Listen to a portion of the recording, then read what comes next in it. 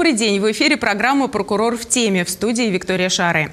И сегодня будем беседовать с заместителем прокурора промышленного района Самары Сергеем Григорьевым. И тема нашего разговора – преступления превентивной направленности. Здравствуйте, Сергей Георгиевич. Здравствуйте. Ну, расскажите э, нашим телезрителям о том, что же такое преступление превентивной направленности.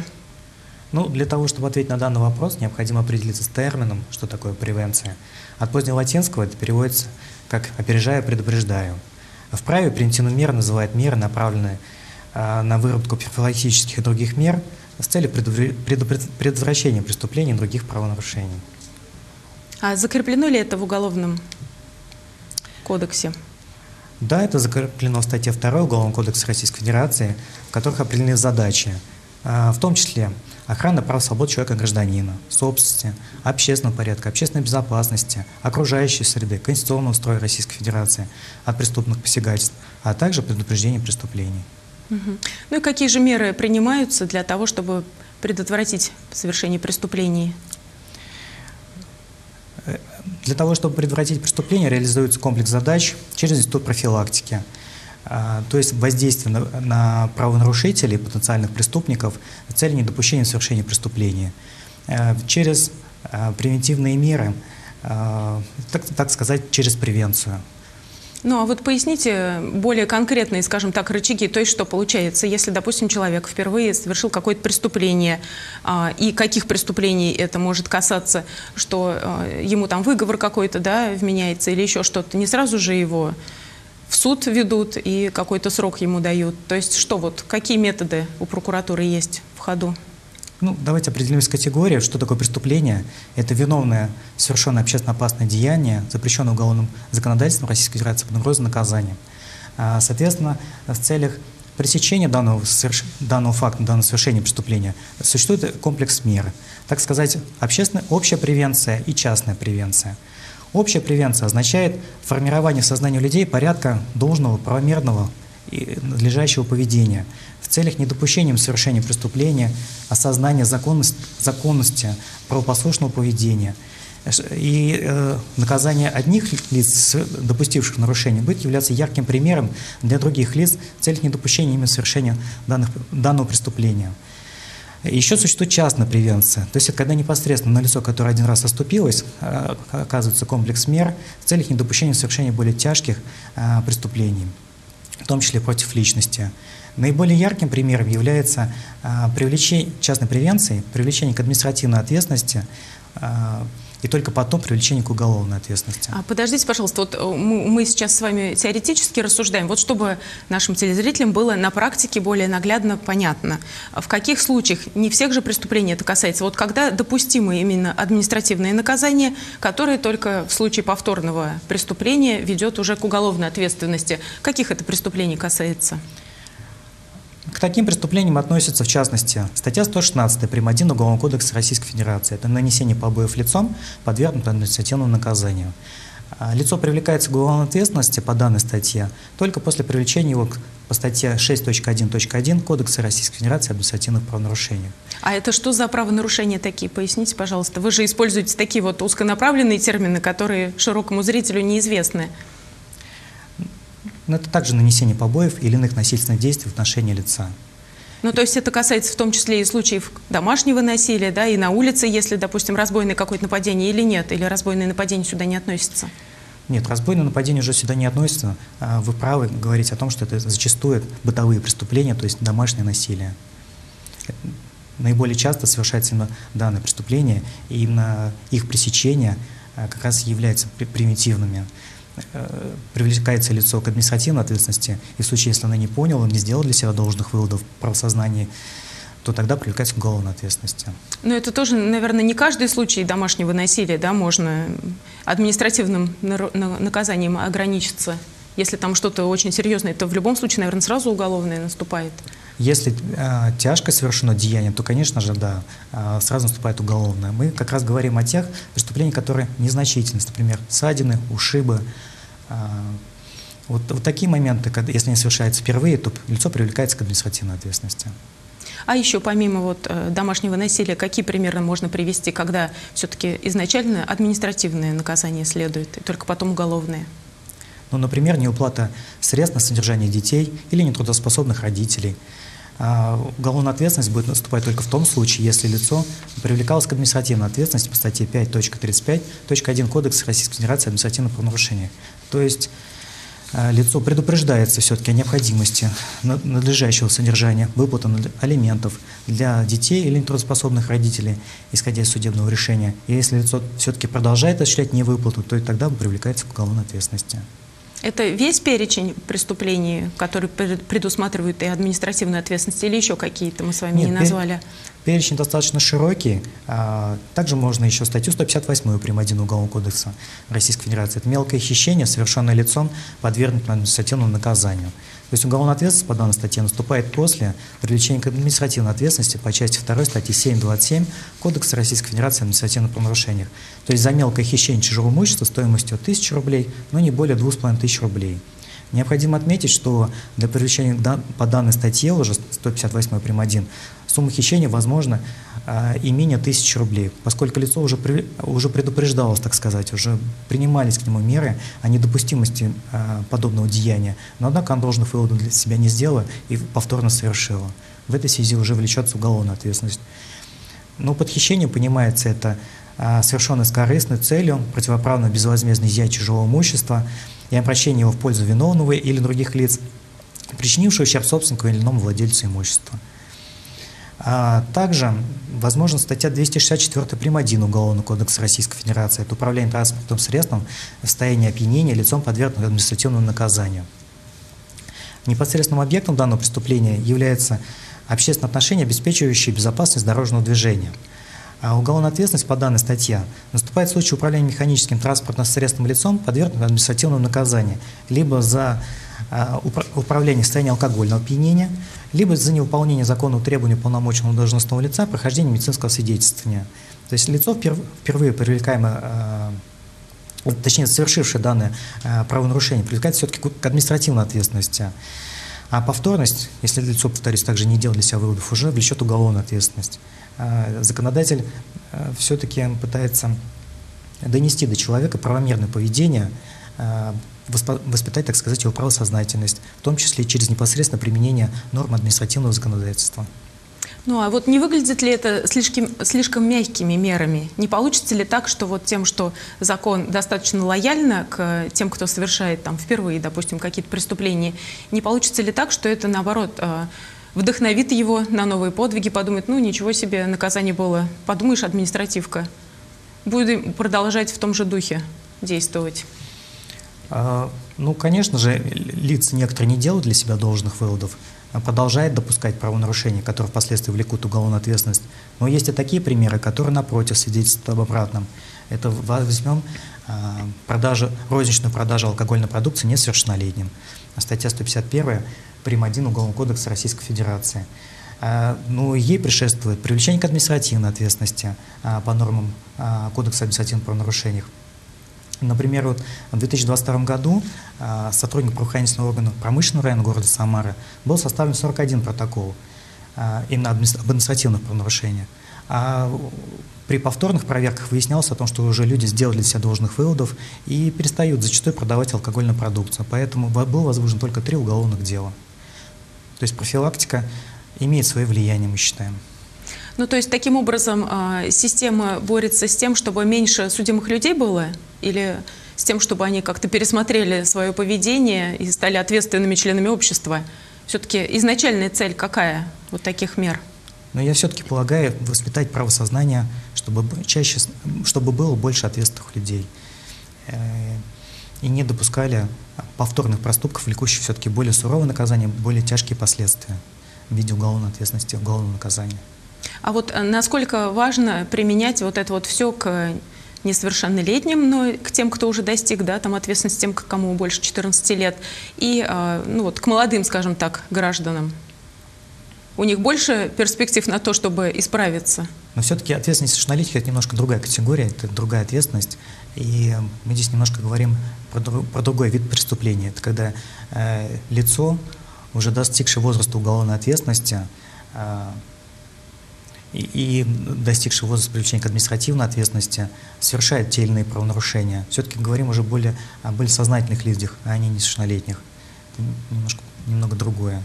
Но, естественно, э, защита прав несовершеннолетних, э, нравственных воспитаний – это является одной из приоритетных задач как системы профилактики, так и органов прокуратуры в целях воспитания э, законопослушных граждан. Угу. Ну и вот возвращаясь к бытовым преступлениям, вот а, не секрет, что у нас смягчился да, уголовный кодекс в отношении а, тех, кто совершает домашнее насилие, скажем так, и насколько это позволяет снизить число преступлений. Не получается ли так, что наоборот, преступник чувствует, что у него руки развязаны, он один раз там ударил жену, там избил, ему там административный штраф выписали, что он может себе позволить таким образом действовать и дальше. Он же может там каких-то серьезных побоев не наносить, но при этом держать ее в страхе, в нервном напряжении, и, в общем-то, обстановка будет очень некомфортная для женщины, мягко говоря. Ну, давайте определим, что такое бытовые преступности, все-таки немножко разовьем данную тему.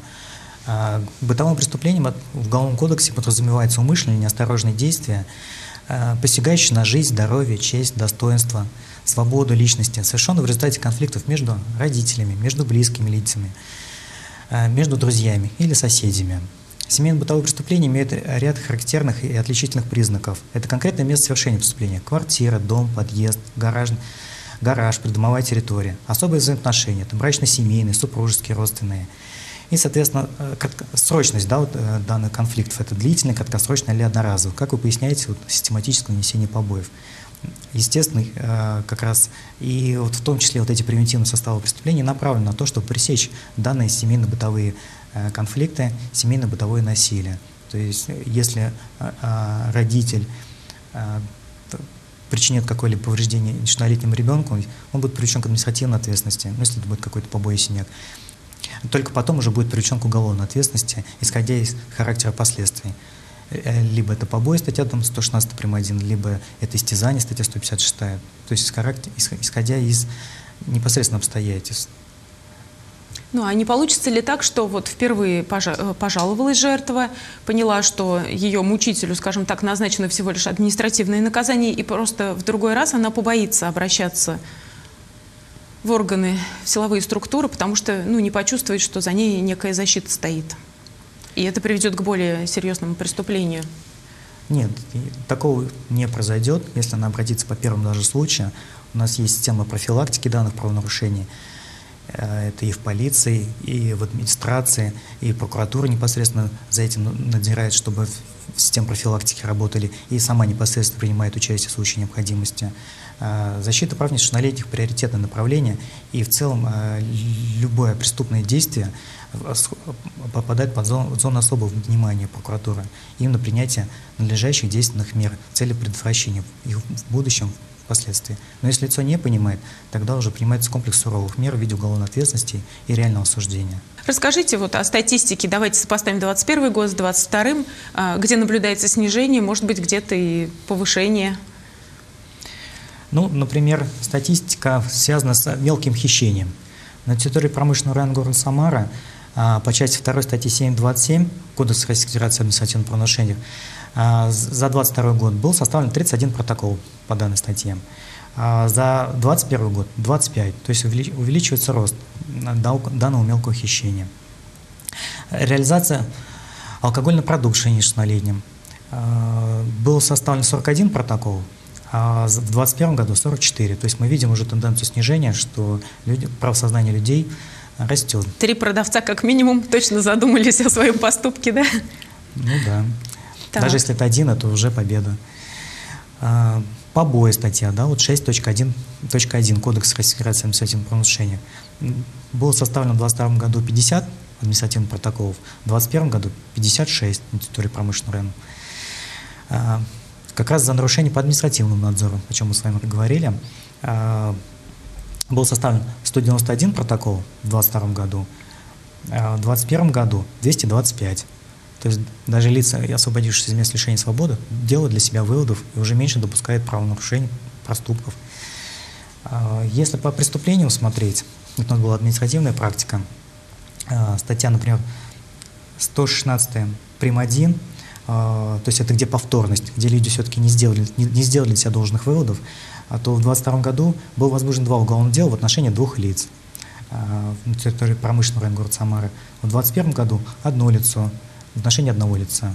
То есть мы видим, что все-таки в 2022 году меньшее количество лиц, которые сделали для себя должных выводов о недопустимости так подобного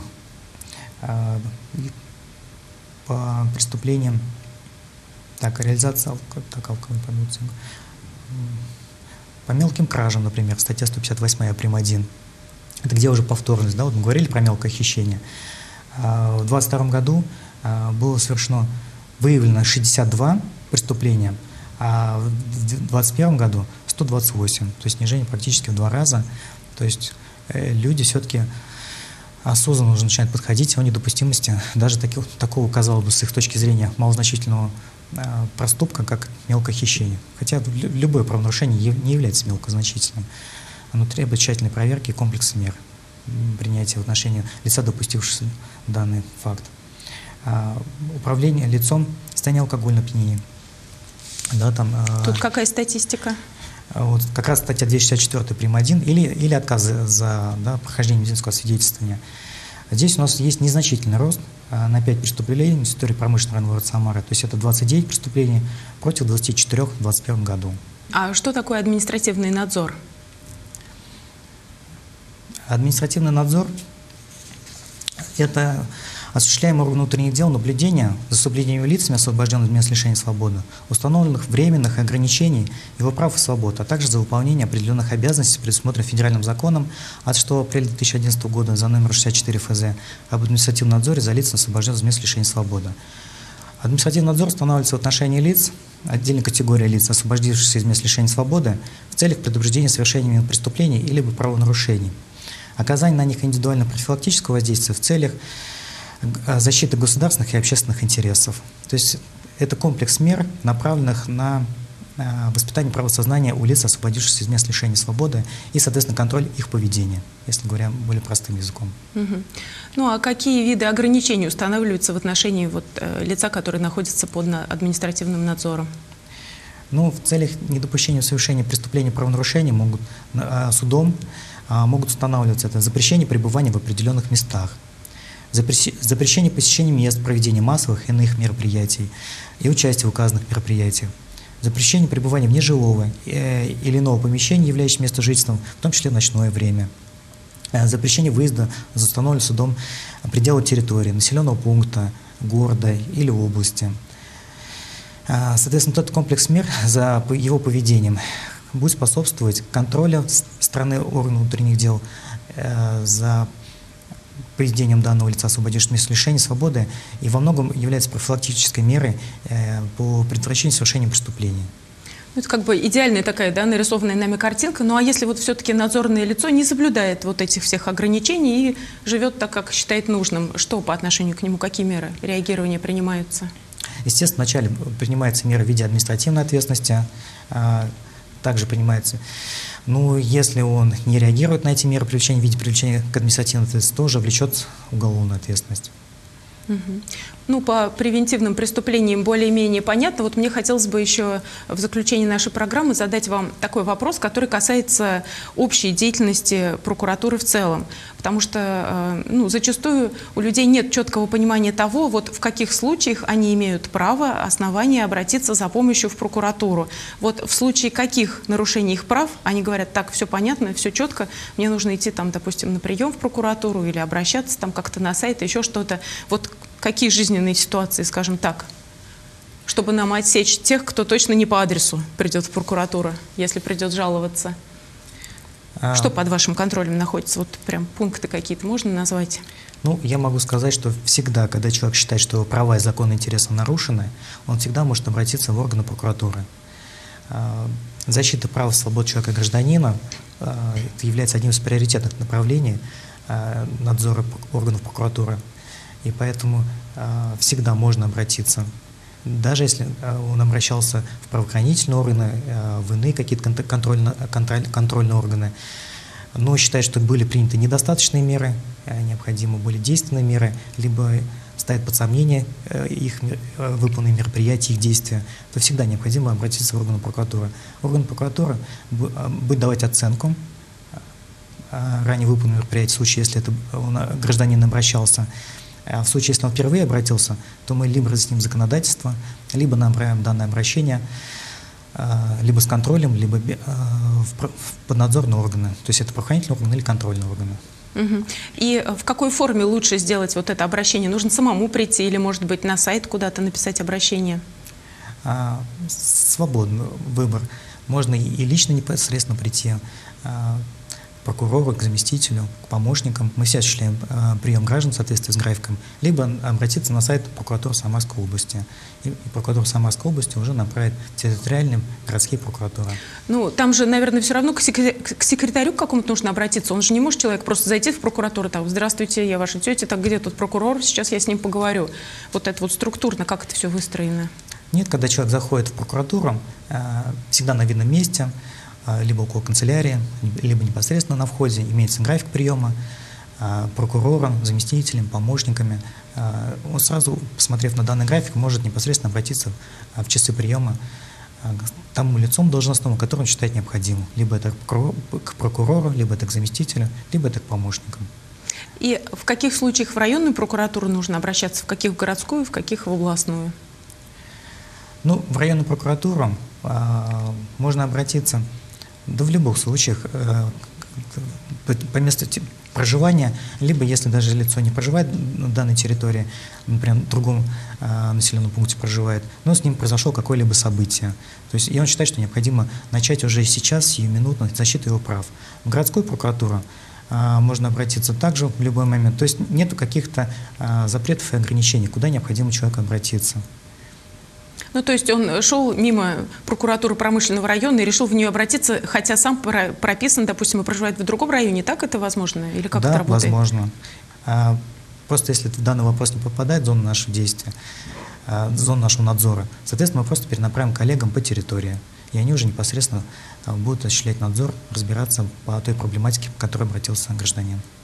Ну, спасибо вам большое за то, что ответили на наши вопросы. Вы смотрели программу «Прокурор в теме», а, знаете о своих правах и оставайтесь на связи. Всего доброго, до свидания.